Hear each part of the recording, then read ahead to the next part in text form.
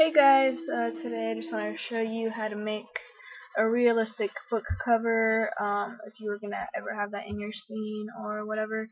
Um, you can actually actually use this, um, what I'm going to show you, to actually put decals on stuff like uh, soda can and uh, other books, uh, box.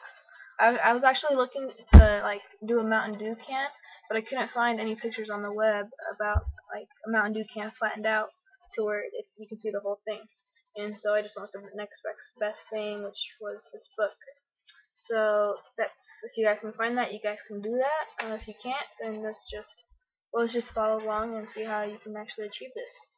I actually downloaded this picture off Google, so if you want to follow along, just go to Google and type in Harry Potter and the Deathly Hallows sleeve, and you'll find it. Alright, so I'm just going to a new file. Make sure my scroll works. Sometimes it doesn't work. Okay. Now, just go to Scale Manipulator mode, and let's just drag this out, this in, and this up. Just to make it look more like a book, right? And now I want to go into Edit mode. Uh, go to Face Select mode and select these three faces.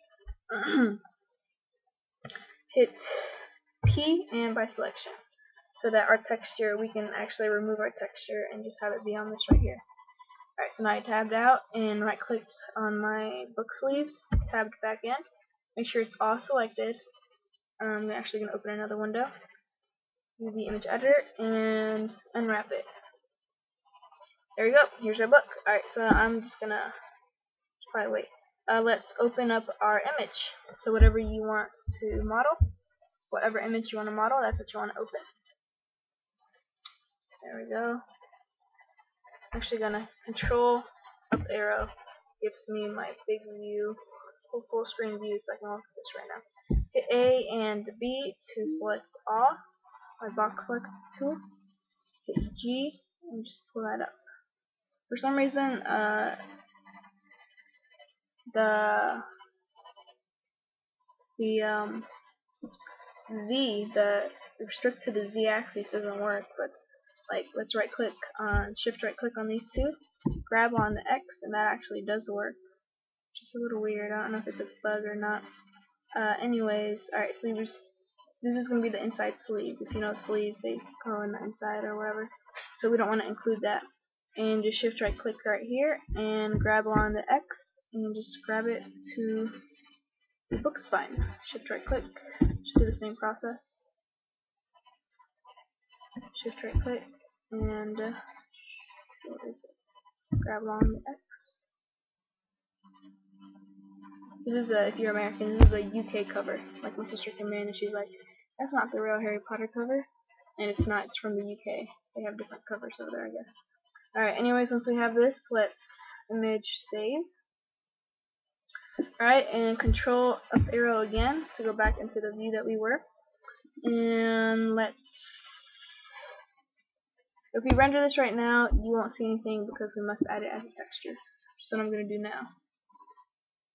Open texture, new texture, image or movie. And since this is still in our system as a UV, we can actually just pull it up right here. Just like that. Let's go both. Flat plane. So that's what it looked like, basically.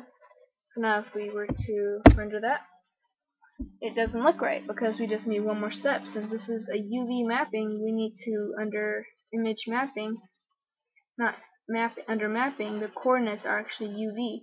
So they can use this, this right here, what we just did, on the book. So let's do that. And there we go. And we just need more lighting on this side and to get rid of this up here. It's very easy. Uh, actually, let's get the lighting first. Tab out, Shift B and Y, Shift B and X. And that works pretty good. Alright, so now let's right click on our inner sleeve and under materials, uh, deselect that too. Let's see if that works. Nope, we want to just get rid of that material altogether. There we go. So there's our book, the 3D view right here. Uh, you can do this with anything like I said. Uh, box of cereal, cereal box or whatever.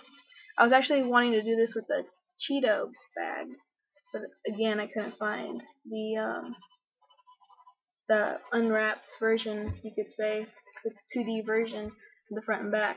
I just threw mine away too, so that was a bummer. But uh, yeah, so that's how you model a buck, I guess. Um, thanks for watching. Uh, please comment below. Uh, see, tell us how this worked out for you.